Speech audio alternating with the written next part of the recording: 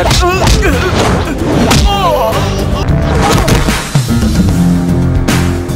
రే మర్యాదగా ఇక్కడి నుంచి వెళ్ళకపోతే పోలీస్ స్టేషన్లో కంప్లైంట్ ఇస్తా ఇవ్వండి స్టేషన్లోనే తెలుసుకుందాం వాళ్ళ కూతుర్ని ఆయన ఎలా పెంచాడో కొంచెం ఐడియా ఉందా నీకు okay Actually, uh, evening party ke office staff. Halo sahabat, Assalamualaikum. Semoga sehat selalu dan senantiasa berbahagia. Terima kasih sudah subscribe dan menyimak video-video LK21 Revive. Semoga Tuhan Yang Maha Esa selalu memberikan rezeki yang berkah dan berlimpah ruah untuk sahabat semua tentunya.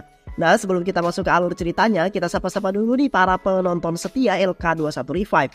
Terima kasih buat Fadli Fantastik dari Madura, Ahmad Satuju dari Madura, Kang Andi Gondrong dari Pakandaran, Soares L dari Timur Leste, Dedek 2020 dari Jonggol, Kaheri dari Aceh, DJ Meime dari Malaysia, Alvin Kronus dari Lampung, Erpendi Pendi, Diana Kartika dari Bali, Novita JLS dari Karawang, dan buat teman-teman semua yang belum mimin sapa, nanti di next video ya. Oke, kali ini LK21 Revive akan membawakan sebuah alur cerita film yang berjudul Ninu Kuri. Bagaimana keseruan filmnya? Tanpa banyak basa-basi, ini dia alur ceritanya.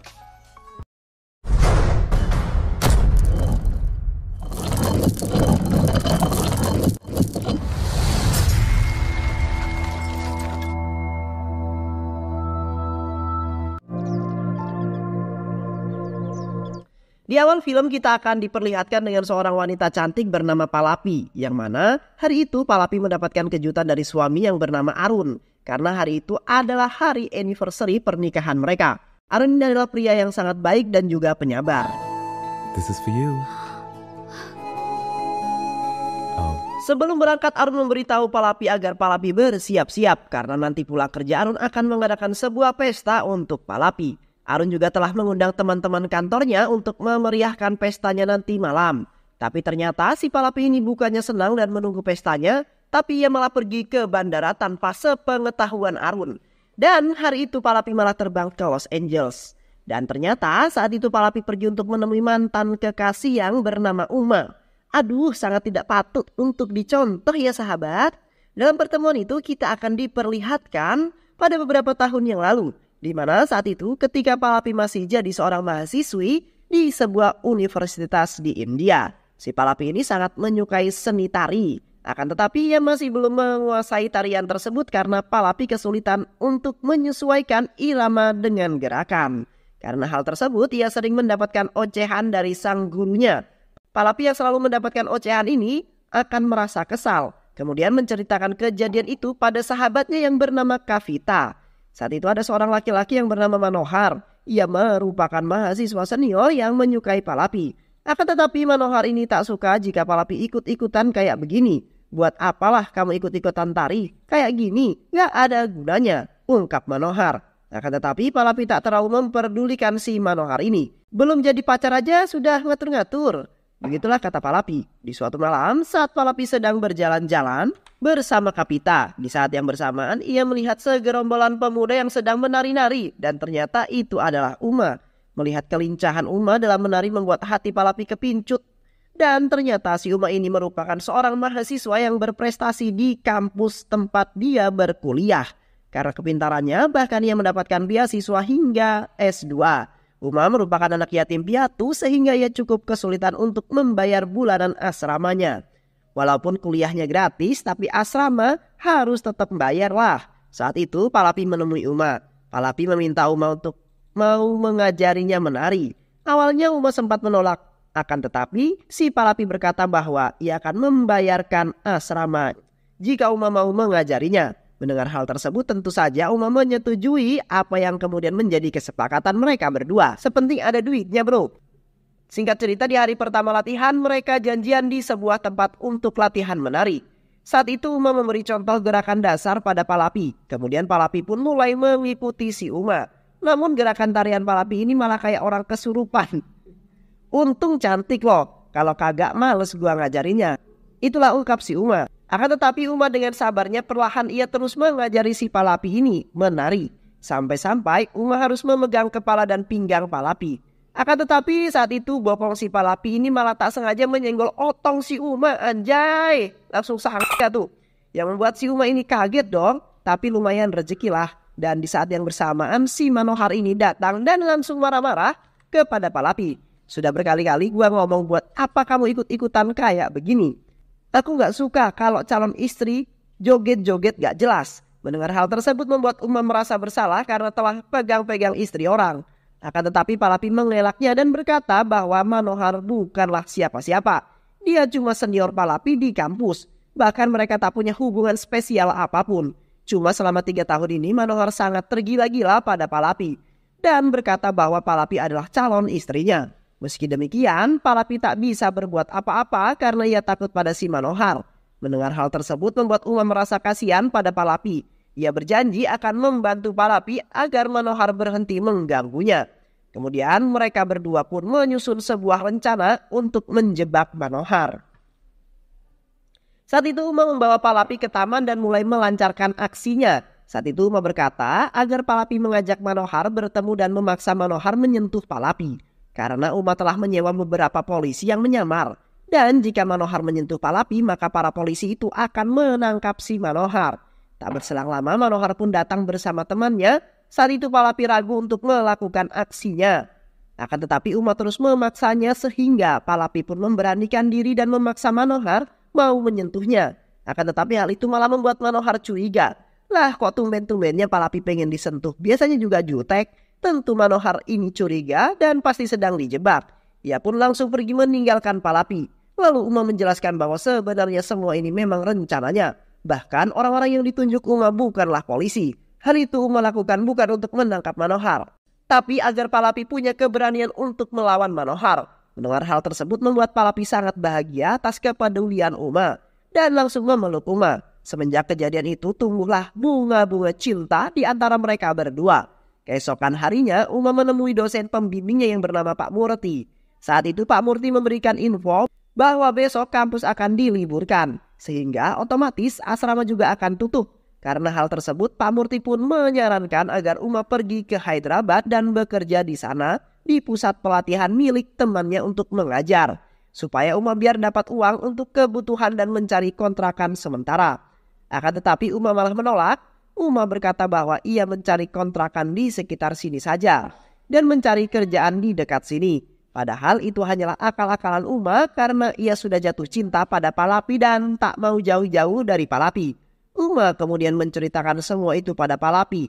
Hari itu Palapi memberitahu ayahnya yang bernama Chandra. Palapi berkata bahwa ada seorang laki-laki yang ngontrak di tempatnya memberikan sebuah surat. Karena Chandra ini ternyata seorang bos kontrakan, setelah membaca surat tersebut membuat Pak Chandra menjadi marah dan langsung mengusir pria tersebut.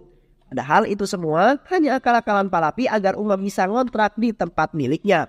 Supaya mereka bisa lebih dekat, itulah idenya si Palapi. Keesokan harinya saat mereka sedang belanja di Alfamart, secara kebetulan Uma bertemu Pak Chandra dan pura-pura mau menyewa kontrakan di tempat Pak Chandra. Uma juga menceritakan bahwa dirinya sedang dalam proses penyelesaian S2-nya. Mendengar hal tersebut membuat Pak Chandra merasa senang dan langsung mengizinkan Uma untuk ngontrak di tempat miliknya. Sementara itu si Palapi berpura-pura tidak setuju dengan keputusan sang ayahnya. Padahal hal itu hanyalah akal-akalan Palapi agar ayahnya tidak curiga dengan hubungan mereka. Hari demi hari pun berlalu. Mereka pun sering bertemu dan tentu membuat hubungan semakin dekat. Palapi yang sudah dibuat kelepek-kelepek oleh Uma, ia kemudian menyatakan cintanya duluan ke si Uma. Uma yang memiliki perasaan yang sama dengan Palapi, kini mereka pun resmi berpacaran. Jadi kalau mau apel tinggal ke kosan aja. Setiap hari Palapi selalu mengantar makanan untuk Uma, bahkan si Palapi ini rela membayar kontrakan si Uma. Asik. Ya namanya juga orang sedang jatuh cinta, apa pun akan dilakukan. Saat mereka sedang kencan menikmati indahnya pemandangan, hujan turun dengan derasnya yang membuat suasana semakin romantis. Tanpa mereka sadari motor mereka telah hilang di gondol maling. Ya namanya orang jatuh cinta sampai lupa segalanya. Beberapa hari kemudian siang itu saat Palapi sedang menunggu Uma di pinggir pantai. Tanpa sengaja Palapi melihat motor yang dikendarai oleh dua orang pria. Palapi pun langsung menelpon Uma dan memberitahunya sambil Palapi mengikuti para maling tersebut. Hingga ia sampai di sebuah pelabuhan. Terlihat dua orang itu akan menjual motor Palapi pada seorang tengkulak barang curian. Akan tetapi dengan berani Palapi ini langsung menghampiri mereka dan mencoba memberitahu kalau itu motor miliknya. Akan tetapi pria itu ngeyel dan meminta Palapi menunjukkan STNK-nya. Kalau emang benar itu motor miliknya. Namun Palapi saat itu tak membawa surat-surat. hingga terjadi perdebatan di antara mereka. Tak berselang lama, Uma datang dan langsung menarik Palapi. Ia mengajak Palapi pulang karena ia tak mau terlibat dalam sebuah masalah. Tapi para pria itu justru malah mengejek dan meremehkan Uma. Hal itu membuat Uma marah dan langsung menghajar mereka semua hingga babak belur.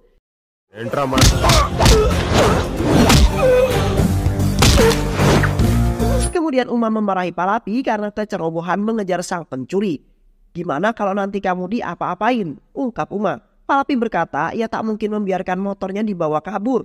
Karena itu motor legend yang penuh dengan sebuah kenangan. Uma kemudian mencoba menenangkan Palapi. Singkat cerita, pada suatu malam, saat Palapi sedang berkumpul dengan keluarganya, saat itu emaknya nyeletuk dan menyinggung Palapi yang belum juga menikah. Akan tetapi bapaknya berkata bahwa tak semudah itu bu, Palapi ini kan cewek satu-satunya, banyak harus dipertimbangkan. Salah satunya yaitu calon suami Palapi itu harus orang yang mapan dan jelas. Pekerjaannya, jelas orangnya, jelas masa depannya, jelas duitnya. Karena ia tak mungkin membiarkan anak cewek satu-satunya hidup secara miskin. Sementara itu, Uma yang sedang belajar di perpustakaan, ia mendapatkan kabar bahagia dari Pak Murti. Saat itu Pak Murti berkata bahwa salah satu sahabatnya seorang dosen di sebuah universitas di Delhi sangat kagum dan menyukai jurnal yang dibuat oleh Uma. Karena hal itu Pak Murti menyarankan agar Uma pergi ke sana dan menemuinya. Karena ini adalah salah satu jalan supaya Uma lulus dan mendapatkan pekerjaan yang baik. Mendengar hal tersebut membuat Uma senang dan ia pun langsung menyetujuinya. Uma kemudian menelpon Palapi dan mengajak Palapi ketemuan. Karena ia ingin memberitahu Palapi kabar bahagia belum juga Uma ngomong, Palapi ini malah langsung maksa agar Uma segera menikahinya. Karena semalam keluarganya mereka baru saja membahas perjodohan Palapi dengan seorang pengusaha. Sedangkan Palapi hanya mencintai Uma. Dan ia tak mau dijodohkan dengan orang lain.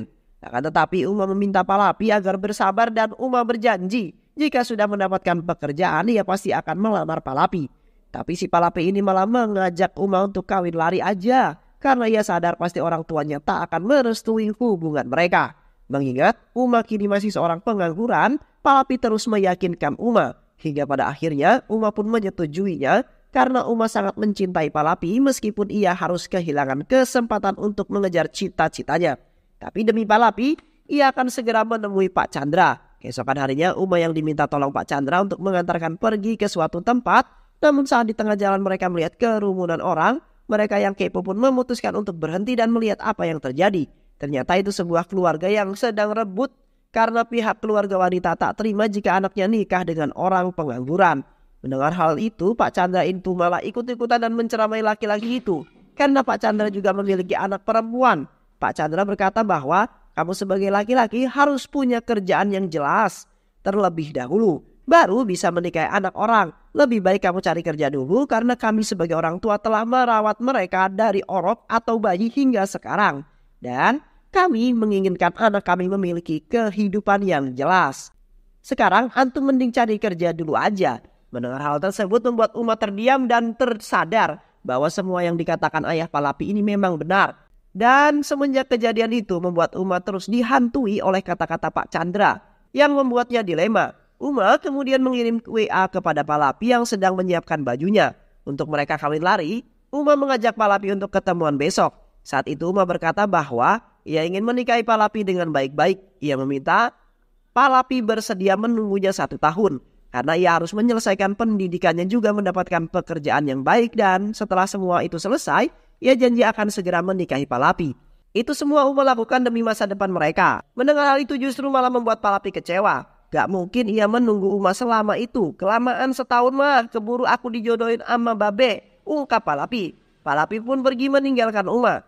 Meski sulit tapi Uma memantapkan niatnya dan di hari itu juga Uma pergi untuk mengejar cita-citanya.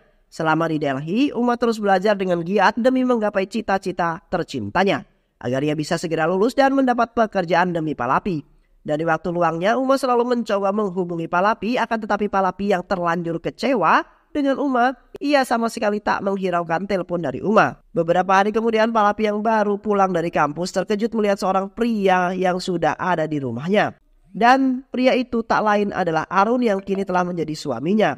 Dan pernikahan Palapi dengan Arun itu akibat perjodohan orang tua mereka. Mendengar hal tersebut membuat Palapi panik dan langsung menelpon Uma. Akan tetapi si Uma langsung berkata bahwa sebentar lagi ia akan lulus dan setelah lulus ia akan mendapatkan promosi pekerjaan di sebuah perusahaan ternama di Amerika. Mendengar hal tersebut, seketika membuat Palapi terdiam karena ia tak ingin menjadi penghalang Uma untuk mengejar cita-citanya. Palapi hanya mengucapkan selamat dan mudah-mudahan Uma bisa sukses. Dan setelah beberapa bulan berlalu akhirnya pernikahan Palapi dan Arun pun dilangsungkan. Palapi sengaja tak memberitahu Uma tentang pernikahannya dan tujuan Palapi datang menemui Uma hanya untuk menceritakan apa yang telah terjadi. Karena saat itu ia mendapatkan telepon dari Pak Murti yang memberitahunya bahwa setelah Uma mengetahui pernikahan Palapi, hidup Uma menjadi kacau. Ia sangat depresi dan menjadi pecandu alkohol, bahkan Uma terancam akan kehilangan pekerjaannya. Palapi meminta agar Uma segera move on dan melupakan dirinya. Palapi berkata bahwa sekarang ia telah hidup bahagia bersama Arun, akan tetapi si Uma tak percaya. Ia tahu pasti Palapi ini masih mencintainya dan pernikahan dengan Arun hanya terpaksa. Palapi pun pulang ke India. Malam itu mereka pun merayakan pesta anniversary pernikahan mereka. Pesta tersebut berlangsung sangat meriah, akan tetapi Arun tak melihat kebahagiaan wajah Palapi. Ia kemudian bertanya kepada Palapi yang sepertinya sedang gelisah. Palapi pun menceritakan semuanya pada Arun dan ia berkata bahwa tadi siang ia terbang untuk menemui Uma. Ia sangat khawatir dengan kondisi Uma. Palapi meminta izin pada Arun untuk mengizinkan Uma tinggal selama beberapa hari di rumah mereka agar Uma percaya jika kini Palapi sudah bahagia dengan Arun. Karena itu adalah salah satu caranya agar Arun bisa move on dan kembali melanjutkan hidupnya. Arun yang memang baik hati dan penyabar, ia pun menyetujui permintaan Palapi. Kemudian Palapi pun menelpon Uma dan memberitahunya juga membuktikan semua perkataannya. Singkat cerita, Uma pun terbang ke India dan setibanya di India, ia langsung datang ke rumah Palapi. Uma masih berharap jika Palapi masih mencintainya. Saat itu Uma disambut baik oleh Palapi juga Arun. Akan tetapi tanpa mereka sadari si Uma ini punya niat jahat untuk menghancurkan rumah tangga Arun dengan Palapi. Karena Uma hanya ingin menikah dengan Palapi. Bahkan saat mereka bertiga sedang makan, Uma sengaja membahas kisah cinta mereka dulu. Hal tersebut sungguh tidak sopan dan seharusnya tak dilakukan. Karena hal tersebut membuat Arun cemburu. Tak berhenti sampai di situ. Keesokan harinya ketika Arun mengajak Uma ke tempat ke kantornya, Uma sengaja menceritakan kisah cintanya bersama Palapi di depan rekannya si Arun. Hal itu membuat Arun jengkel dan semenjak hari itu Uma terus berusaha untuk menghancurkan rumah tangga Palapi. Karena si Uma ini masih berharap jika Palapi masih mau menerimanya. Bahkan saat mereka akan tidur, si Uma malah mengganggunya. Ia berkata bahwa ia akan tidur bersama Arun. Hal itu sengaja Uma lakukan agar Arun tak tidur dengan Palapi. Keesokan harinya, Palapi dan Arun mengajak Uma untuk menghadiri sebuah pesta pernikahan temannya Arun yang bernama Sureh dan pesta itu diadakan di lereng Gunung Himalaya. Akan tetapi hal mengejutkan terjadi saat itu Sure berkata bahwa setelah acara ini mereka akan bercerai karena ia sadar bahwa selama ini tak ada cinta di antara mereka dan mereka pun memutuskan untuk bercerai. Mendengar hal tersebut membuat semua orang kaget dan meminta Sures untuk mempertimbangkan lagi keputusannya. Akan tetapi si Uma ini malah memberikan semangat dan dukungan ke semua perkataan Sures. Hal itu tentu saja membuat semua orang kaget terutama Palapi dengan Arun. Lah ini anak kenapa ya? Orang mau cerai bukannya prihatin ini malah mendukung. Hal itu tentu saja membuat semua orang merasa aneh dengan sikap Uma. Malam itu saat mereka duduk bertiga, si Uma yang lagi oleng karena banyak minum tuak. Ia nyelutuk berkata bahwa ia masih sangat mencintai Palapi dan berharap Palapi mau menikah dengannya. Mendengar hal tersebut membuat Palapi kecewa dan langsung menampar si Uma. Keesokan harinya Palapi dikejutkan dengan kedatangan ayahnya yang tiba-tiba saat itu ia bersama kakak iparnya yang bernama Babu. Saat itu Pak Chandra kaget melihat keberadaan Uma di rumahnya. Di saat yang bersamaan Arun datang dan berkata bahwa itu adalah teman semasa kuliahnya dulu. Dan saat ini ia sedang berlibur jadi ia tinggal beberapa hari di rumah mereka. Hal itu ia lakukan untuk menyembunyikan identitas asli Uma. Kedatangan Pak Chandra saat itu hanya untuk memastikan apakah anaknya ini benar-benar bahagia. Karena setelah kejadian tragis menimpa tetangga mereka yang nekat bunuh diri karena pernikahan yang dijodohkan oleh orang tuanya, dan Pak Chandra ini takut Palapi melakukan hal nekat seperti itu. Mendengar hal itu membuat Uma semakin berambisi untuk menghancurkan rumah tangga Palapi. Ia pun memanfaatkan momen ini untuk menghancurkan rumah tangga Palapi dan Arun. Saat itu Uma berkata bahwa sebenarnya akhir-akhir ini rumah tangga Palapi dan Arun sedang tidak baik-baik saja. Bahkan sudah beberapa hari ini Palapi tak tidur bersama lagi bersama Arun. Dan untuk meyakinkan ucapan itu si Uma sengaja membuat sebuah rencana agar Pak Chandra bisa melihat sendiri. Kalau yang dikatakan Uma itu adalah benar. Lalu keesokan harinya Uma, Pak Chandra dan juga Babu pergi menemui Kavita yang sedang bekerja di rumah sakit untuk menanyakan siapa pria yang dicintai Palapi. Saat itu juga Uma merasa senang karena sebentar lagi Pak Chandra akan mengetahui siapa pria yang sebenarnya Palapi sukai. Tapi sungguh di luar dugaan karena si Kapita ini mengatakan bahwa kekasih Palapi sudah menikah dan sekarang sudah punya anak. Kemudian Palapi menelpon ayahnya dan menceritakan tentang kedatangan ayahnya dan Kapita yakin bahwa semua ini adalah akal-akalan Uma. Sesamanya Pak Chandra di rumah, Palapi memberitahu ayahnya bahwa selama ini ia menikah dengan Arun. Ia merasa sangat bahagia dan tak pernah ada masalah apa pun tentang pernikahan mereka. Palapi juga menjelaskan penyebab Palapi tak tidur bareng dengan Arun karena umat temannya Arun jadi dia mau menghabiskan waktu dengan Arun. Benar hal tersebut membuat Pak Chandra merasa sangat lega. Kemudian Palapi pergi menemui Uma karena ia tahu pasti ini semua adalah rencana Uma.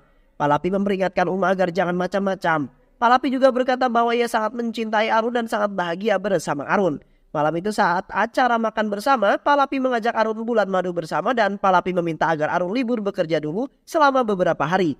Akan tetapi Arun menjawab bahwa ia tak bisa libur karena ia harus menemui klien yang berada di Kanada. Dan Arun mengajak keluarganya untuk ikut bersamanya ke Kanada sembari liburan bersama. Hal itu tentu sangat membantu Palapi menjadi sangat senang. Sehingga cerita mereka pun telah berada di Kanada dan mereka menikmati liburan di sebuah pantai yang indah. Saat itu Arun pamit pergi kepada Palapi karena ia akan menemui kliennya. Akan tetapi Palapi melihat dompet Arun yang tertinggal. Palapi pun mencoba mengantarkan dompet tersebut kepada Arun.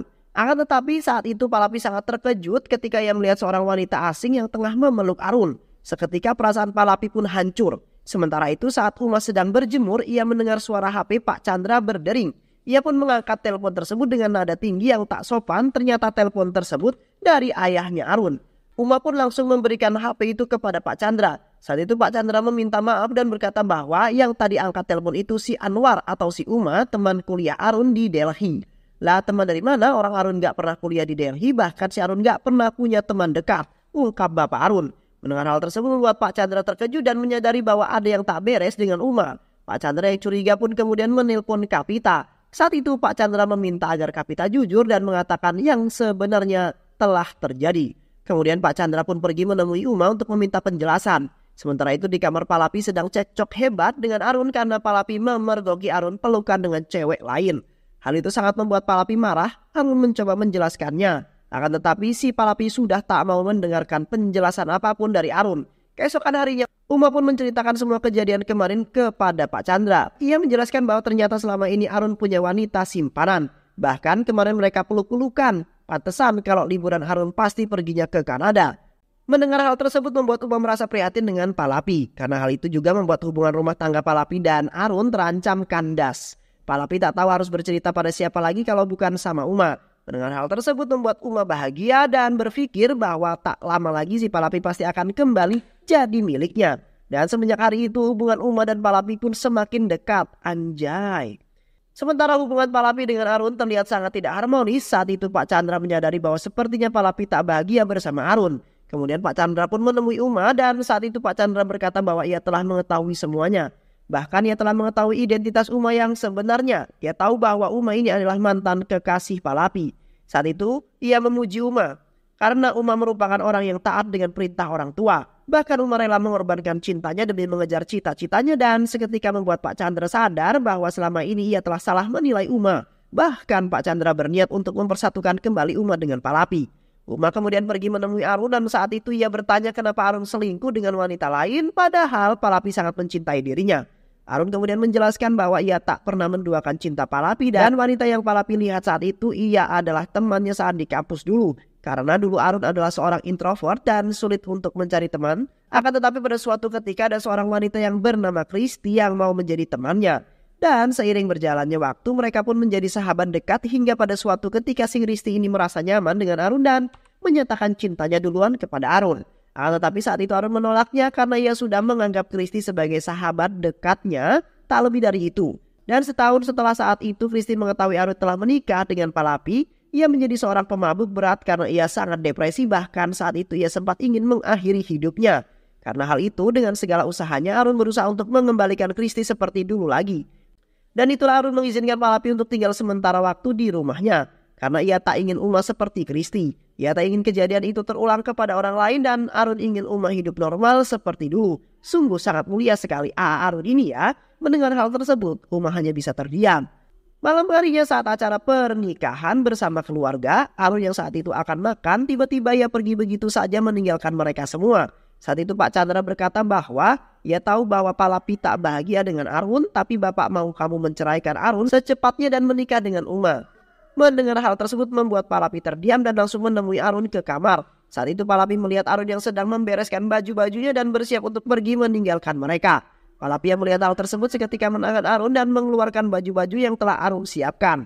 Saat itu, Palapi melihat foto pernikahan mereka dalam koper Arun. Arun kemudian menjelaskan semua kepada Palapi tentang wanita yang memeluknya saat itu dan alasan kenapa ia mau mengizinkan Uma untuk tinggal bersama mereka. Mendengar hal tersebut membuat Palapi merasa sangat bersalah karena selama ini Palapi telah salah paham pada Arun. Hingga pada akhirnya mereka pun saling memaafkan. Sementara itu Uma yang berada di halaman rumah, ia menyaksikan momen pelukan Palapi dengan Arun. Hal itu membuatnya sadar bahwa selama ini Palapi memang benar-benar mencintai Arun. Begitu juga dengan Arun, Uma juga sadar bahwa selama ini ia sudah terlalu jahat karena ingin menghancurkan rumah tangga mereka berdua. Padahal selama ini Arun sangat tulus untuk membantu dirinya agar bisa move on dari Palapi. Uma kemudian meminta maaf kepada Pak Chandra dan ia pun pergi dari rumah mereka. Dengan perasaan yang sangat sedih, singkat cerita setelah beberapa tahun berlalu, Uma kembali datang untuk menemui Palapi dan juga Arun yang kini sudah dikaruniai seorang buah hati. Kedatangan Uma saat itu untuk mengundang Palapi dan Arun agar mereka bisa menghadiri acara pernikahannya nanti. Akhirnya, Uma pun berhasil move on dari jeratan cinta masa lalunya. Kini mereka semua pun dapat hidup bahagia dan film pun selesai. Cintai orang yang mencintaimu untuk mengerti akan indahnya ketulusan hidup dari kasih sayang. Terima kasih sudah menyimak video-video LK21 Revive. Semoga sahabat semua terhibur dan sampai bertemu lagi di video-video berikutnya. Sehat selalu. Assalamualaikum warahmatullahi wabarakatuh.